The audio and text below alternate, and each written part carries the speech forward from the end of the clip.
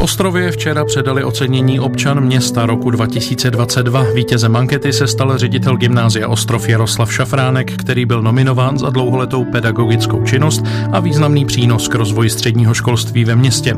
Ředitelem Ostrovského gymnázia je už několik let. Jaroslav Šafránek je matematik a fyzik a pracovně prožil v Ostrově kus svého života. Uznání se ředitel i celé gymnázium dočkalo i od prezidenta Petra Pavla na letošní únorové besedě se studenty.